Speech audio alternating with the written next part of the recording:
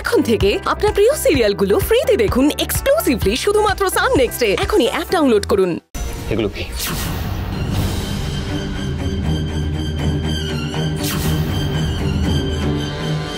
You liar. Shame on you. ইচ্ছে চুপ করে থেকো না আমার কথার উত্তর দাও আনসার মি আমি যেটা বলছি সেটা উত্তর দাও। তুমি আর হিয়া একে অপরকে চেনো? সরি আর্য। আমি তোমার কোনো প্রশ্নের উত্তর দিতে বাধ্য নই। উত্তর দিতে বাধ্য তুমি।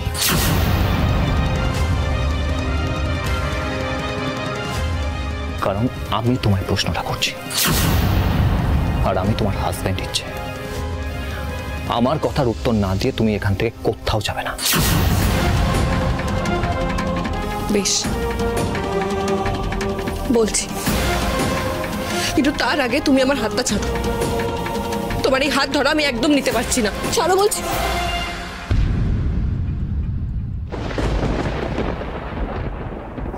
হ্যাঁ।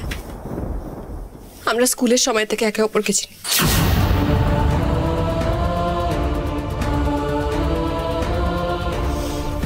তাহলে সেদিন যখন আমি ইন্টারভিউ দিতে গেছিলাম তুমি এই সবটা জানতে। জানতাম। বাহ। তার মানে আমি যে জবটা করছি এর পেছনে তোমার রেকমেন্ডেশন আছে তাই তো? এসব কথা কেন উঠছে আর উঠছে তোমার মিথ্যের জন্য। আমি তোমাকে কোনো মিথ্যে বলিনি। আমি শুধু চেয়েছি যে তুমি এই সত্যিটা না জানো। কথার মার প্যাচ একদম খেলো নিচ্ছে মিথ্যে আর সত্যকে গোপন করার মধ্যে কোনো পার্থক্য নেই। অন্তত আমি কোনো পার্থক্য দেখতে পাচ্ছি না। আর্য আর্য তুমি প্লিজ একটু শান্ত হও। হ্যাঁ আমি প্রিয়ার সঙ্গে তোমার বিষয়ে কথা বলেছিলাম। কিন্তু তখন আমি জানতাম না যে তুমি ওর কোম্পানিতে ইন্টারভিউ দিতে যাচ্ছ। আমার শরীর খারাপ ছিল, ও বাড়িতে আমাকে দেখতে এসেছিল আর কথায় কথায় তোমার কথা আমি বলেছি ওকে। আর যে বিশ্বাস করো, তোমার সিলেকশনের পেছনে আমার কোনো রেকমেন্ডেশন নেই। সত্যি মিথ্যে! মিথ্যে মিথ্যে মিথ্যে! আর কত মিথ্যে বলেছ আমাকে তুমি? বলো। বিশ্বাস করো, আমি আর কোনো মিথ্যে কথা বলিনি তোমায়।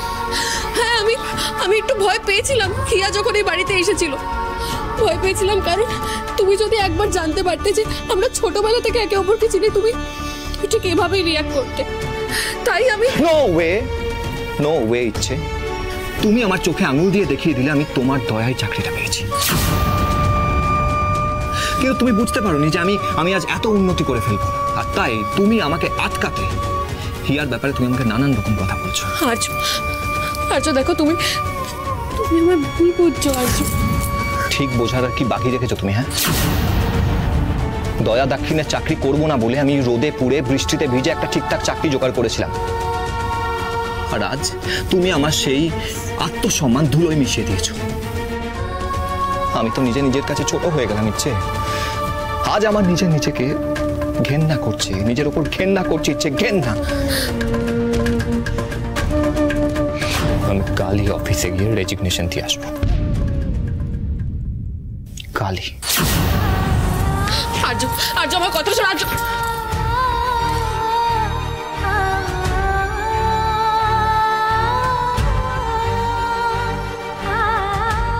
আমি তো নিজে নিজের কাছে ছোট হয়ে গেলাম ইচ্ছে। আজ আমার নিজে নিজেকে ঘেন্না করছে। নিজের ওপর ঘেন্না করছে ইচ্ছে ঘেন্না। আমি কালই অফিসে গিয়ে রেজিগনেশন দিয়ে আসব।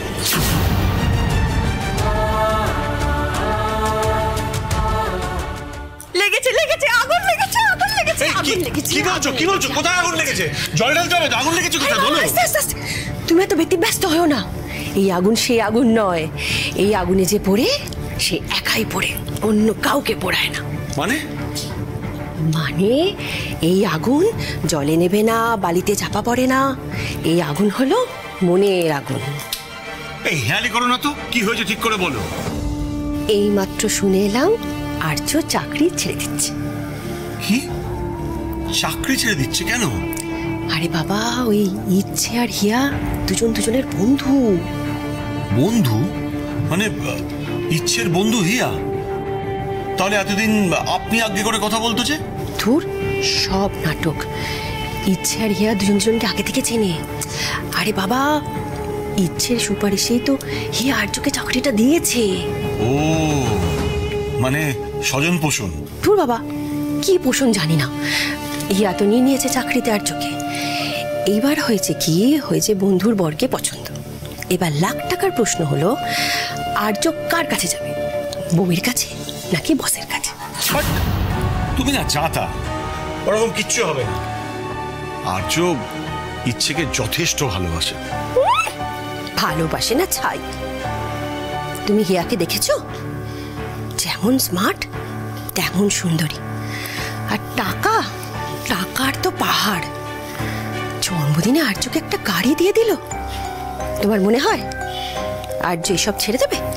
আরে সে যাই দিক না কেন, তুমি তুমি আমার কথাটা মিলিয়ে নিও। আমার ভাই আর্য ওরকম ছেলেই না। হ্যাঁ।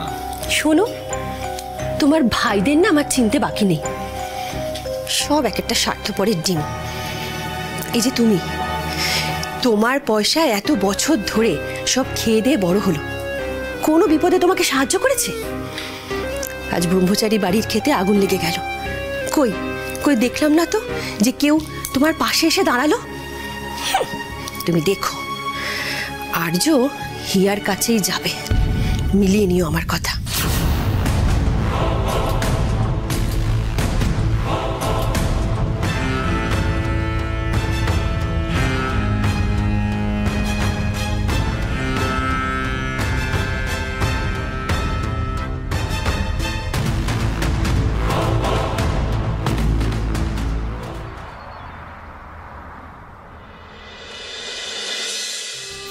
ভাই আর বলছি এক মিনিট দাঁড়ান একটু একটু একটু কথা আছে। আবার এক মিনিট ছোটদা আমার দেরি হয়ে যাচ্ছে তাড়াতাড়ি বল। বলছি কিছু না এই যে দু ব্যাগ দড়ি রয়েছে তো বাইকে করে যেতে ঠিক ভরসা পাচ্ছি না একটু তোর গাড়িতে ছেড়ে দিবি। চল না দেখ এই কিন্তু তুই এগুলো নিয়ে কোথায় যাচ্ছিস? আরে যাবে দই ডেলিভারি করতে। আসলে ব্যবসায়ী বউ তো একটু তো হেল্প করতেই হবে। ঠিক আছে চল। কিন্তু ছোটদা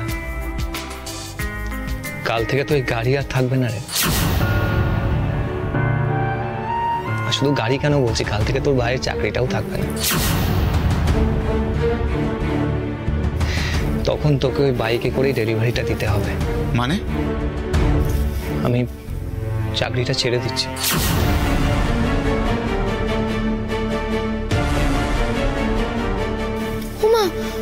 অত ভালো চাকরি ছেড়ে দেবে কেন?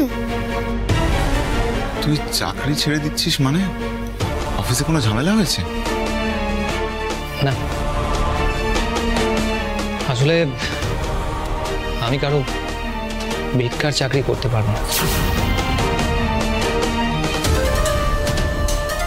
ভিক্ষার চাকরি? কে তোকে চাকরি ভিক্ষা দিল? কে দিল? ইচ্ছে।